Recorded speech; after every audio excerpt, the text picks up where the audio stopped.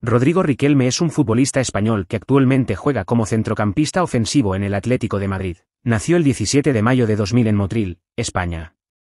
Riquelme comenzó su carrera en las categorías inferiores del Granada CF y rápidamente llamó la atención de los ojeadores del Atlético de Madrid, que lo ficharon en 2018. Pasó la mayor parte de su primera temporada en el club jugando en el equipo juvenil, pero debutó en primer equipo en enero de 2020 en un partido de Copa del Rey ante la Cultural Leonesa.